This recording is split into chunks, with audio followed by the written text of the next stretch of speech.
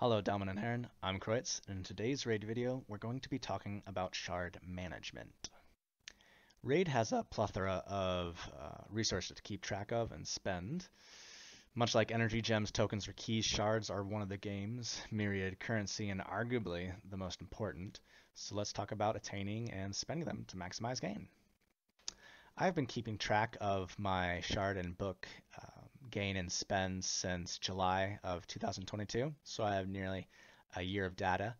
And uh, whenever I pull shards or book a champion, I go ahead and keep track of that in the spend column. And then on the first every month, I put my tallies in, um, and then I can calculate the gain by subtracting the spend and the previous month's uh, balance. Uh, and then if I so I'll give you a moment to look over that. Uh, as you can uh, see, just like visually from month to month, the the gains are are fairly similar. Similar. Uh, I I do have some note keeping errors. I, I don't know how I I messed that up, but yeah, the, these are bad bad values, so I excluded that from my uh, averages and uh, average deviation which you can see over here. Boop. All right, so yeah, so you can see on average 97 ancients, 29 voids, 14 sacreds a month, and then for the books, 15 rares, 43 epics, and 21 Lego books. Um, and then you can see the average deviations are, are pretty low, a little higher on the ancients just because the RNG is higher on, on, on that shard because you can get it from dungeons, um, and then it's just generally um, more available as a reward on events and tournaments. Um, so yeah, it got I, I do pretty much everything I can in the game. So um, if you don't if you don't um, take every opportunity in in all asset uh, facets of the game, then uh, you, your shard intake might be a, a, little less than this. But um, this is um, what I I pull in uh, on average a month. All right, so let's go ahead and talk about uh, where you can gain these resources. Um, if you want a more in-depth look uh, at the certain values uh, of the different locations, I would suggest checking out Eharbad's video um, on the subject of resource management I'll include it in the uh, in the description, the link to the video. Um, but yeah, so for consistent income, obviously Clan Boss is the best. Um, and if you can hit, you know, Ultra Nightmare, Nightmare, and Brutal every single day, um, I was I would suggest highly suggest doing it. You can even get uh, shards from uh, Brutal chests. It's very rare, but um, over time you will increase your your shard intake by by doing that. Uh, let's see. So, and then uh, obviously there's a certain amount of ancients you can get from the market. I think it's about five a month. Um, so you just gotta just gotta go in here occasionally, check it out, try to get those five. Uh, you can also um, make sure you're hitting your arena, try to get up into gold. Um, tiers. Here we go. So even if you're in bronze, you've got a chance at the the ancient. It's when you get into gold that you have the chance of the the void, and then if you're a maniac, uh, you can uh, get a, a, uh, sacred shard from uh, platinum. But I would highly suggest for your mental health, as free to play, just don't uh, get your hopes too high on PvP. you just it's it's it's very hard to compete. All right, uh, let's see, and then oh yeah, of course, the TTA Bazaar. You can go ahead and get an ancient uh, every um, every week, and then a void shard every two weeks, and then um, I've yet I'm still trying to put, push up for the romantic missions to get into to gold. Um, but then yeah, you can get the sacred. I think that's I'm not sure. I think that's once a month, but uh, either way, uh, next consistent uh, income of shards is Doom Tower.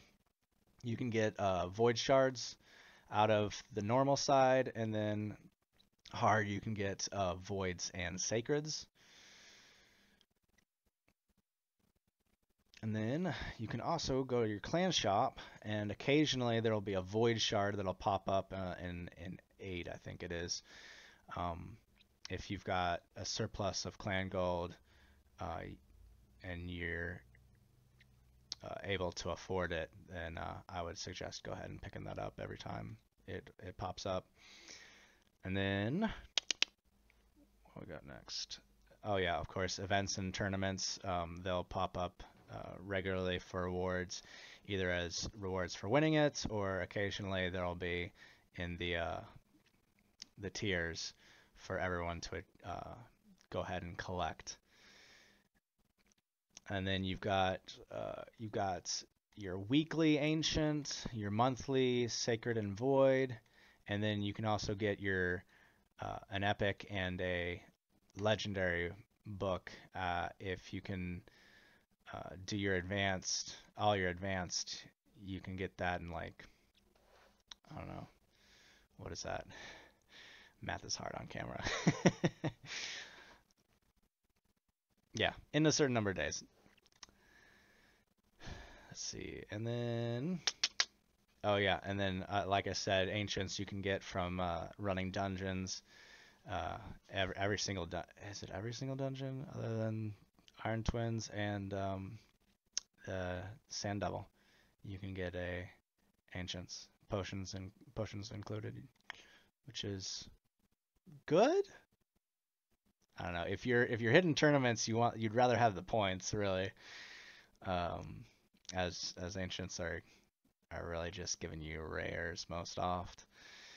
But let's see. Oh, and then uh, so yeah, that's uh, pretty much the consistent income that you can expect. Uh, one-offs that you can get. You can get uh, challenge. You can get books and shards in here.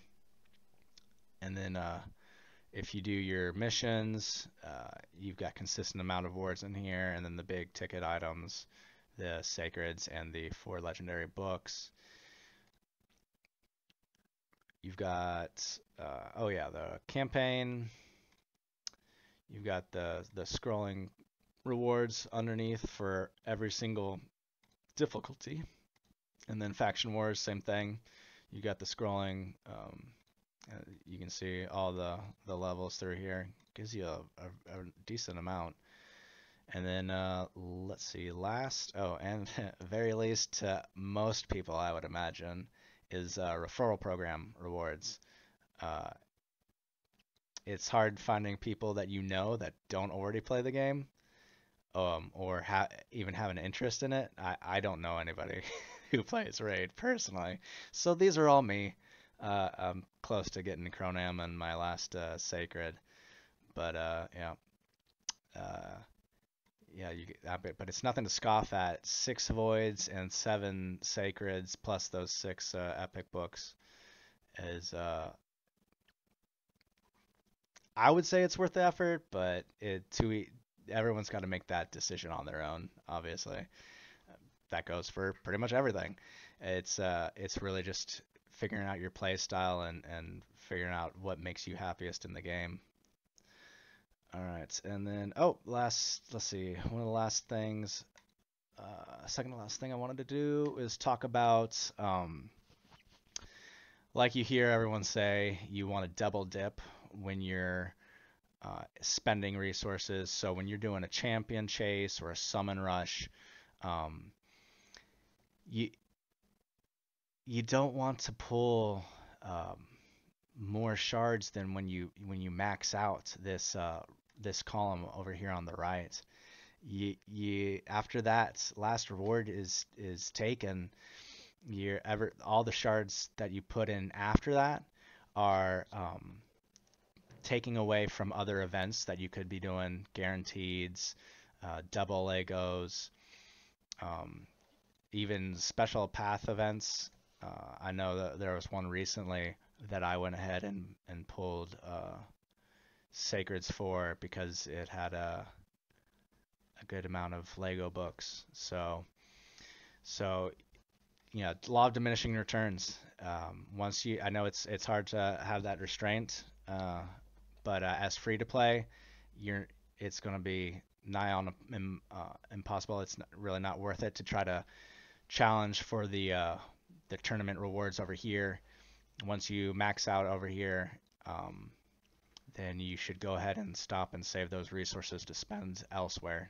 All right, so the last thing uh, I wanted to talk about in, in regards of uh, spending your shards, um, it, it's good to be informed of where you're at in Mercy. Um, obviously, when you get to those double legendary events, it's uh, really only worth it if you hit on a Lego. Um, and if you do, it's it's one of the best uh, events and ways to get Legos in the game. But you need to know your Mercy in order to um, be informed and make a, a, a good decision uh, about that. So uh, I would suggest, highly suggest um, tracking your Mercy. I've got a Mercy counter right here on the screen. This is what I use. Uh, if you have suggestions, uh, um, feel free to leave those in the comments. But yeah, so uh, whenever I, I go ahead and pull shards, I put my starting shards in here. And then as I'm pulling, if I get to the end of my shard pulling, or if I hit on a Lego, you stop, put that the number that you see into the end shards, and then it gives you the difference, the amount of shards that you have pulled to that point. And then you'll add that into whichever column that you're pulling. So if you're pulling for your sacreds, you put in the yellow box. Um, if you if you hit the on that Lego and you're continuing pulling, then you're gonna have to start over and then put the new number of starting shards in, and then you know just duplicate that process, uh, clearing out if you hit on that Lego the the box the number in the box that you have up there because your your counter has then been reset to zero. Um, I will go ahead and put uh, this in in the description as well. Um, feel free to go ahead and take it and have it as your own. This is a Google Sheets, and um, yeah, if if you're on your phone, um, or if you're you're I don't know pressed for time or whatever, um, you can always take a screenshot and uh, input data later uh, I would I would highly suggest doing that. Uh, it's a pretty simple thing. Just press those buttons on the side of your phone, and then you know keep on trucking. But uh, yeah, uh, that's that's pretty much it. All right, well that's the the video. Thank you for watching until the end. Uh, consider doing the YouTube things, and uh, have a great day. Cheers. The video is over. This is the end screen. You can go now. Bye.